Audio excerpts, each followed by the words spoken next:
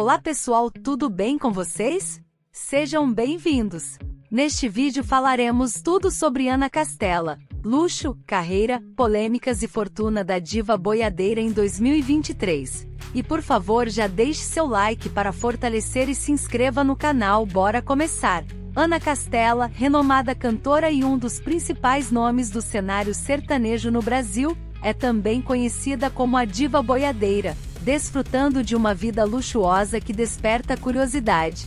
Nascida em 16 de novembro de 2003 em Amambaí, no sul do estado de Mato Grosso do Sul, Ana Flávia Castela começou a trilhar seu caminho para o estrelato em 2021, alcançando o reconhecimento com o estrondoso sucesso da música boiadeira. Antes de sua ascensão, a cantora já demonstrava versatilidade, fazendo covers de diversos estilos musicais, inclusive rap, pop e sertanejo. Sua incursão definitiva no universo da música ocorreu em 2021, ao gravar com a empresa Agroplay, resultando no hit que a consagrou como boiadeira. Em 2022, repetiu o êxito com Pipoco ao lado da cantora Melody, conquistando posições de destaque no Spotify. É notável que, diferentemente de muitos artistas, Ana Castela optou por lançar singles ao invés de um álbum tradicional.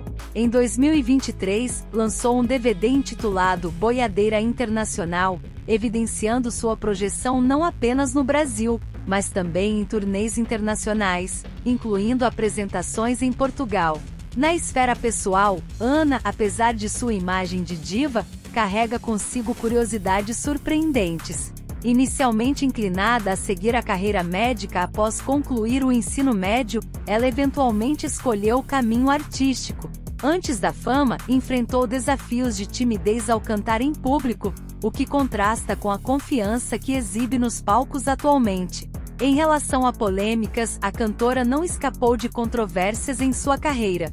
Desde um incidente em um show em Sergipe até um episódio envolvendo o número do então candidato à presidência Jair Bolsonaro em um telão, Ana Castela enfrentou debates nas redes sociais. Uma das polêmicas mais significativas girou em torno de rumores sobre sua suposta estrela, o que a levou a esclarecer que apesar de seus esforços, há limitações em atender a todos os fãs. Quanto ao seu estilo de vida luxuoso, Ana Castela adquiriu uma mansão em Londrina, com decoração clássica e uma piscina em formato de B de boiadeira.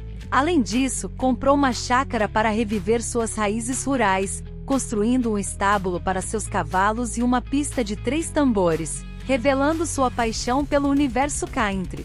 No âmbito automobilístico, a cantora surpreendeu ao escolher um Toyota SW4 vermelho, customizado com mais de 20 caixas de som personalizadas, evidenciando seu gosto por extravagâncias.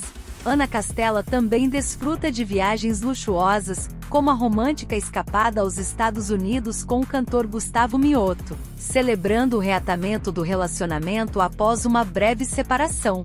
Quanto à sua fortuna, Ana Castela se destaca não apenas pela fama, mas também pelos ganhos significativos. Com cachês que variam entre 200 mil reais e 300 mil reais por show, ela realiza uma média impressionante de 29 apresentações por mês.